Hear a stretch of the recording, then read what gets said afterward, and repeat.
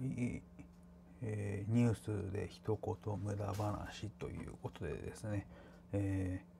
これは TBS ニュースディグの記事ですね、えーインパルスの堤下さん同じ日に世田谷区で2件の物損事故、えー記事の内容がお笑いコンビインパルスの堤下さんが運転する車が同じ日に2件の物損事故を起こして起こしていたことが分かりましたと。警視庁によりますと今月14日の午後2時半ごろ世田谷区桜丘でインパルスの堤下さんが運転していた車がガードパイプに衝突しました。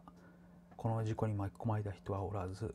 堤下さんにも怪我はないということです。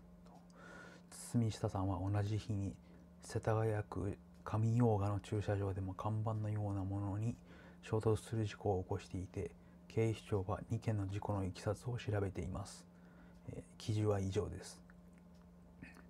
えーこの記事はまあゴシップ的に解釈することもできますけれども堤下さん有名人ですしね、えーうん。もうまあとりあえず巻き込まれた人がいなくてよかったっていうことと、うん、こうなんだっけなあのなんだろうなあのちゃなんこれはあの病院とか行った方がいいんじゃないかなっていうふうに思いました。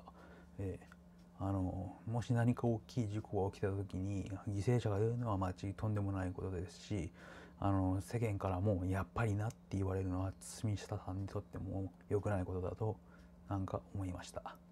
えー今回はここまでです。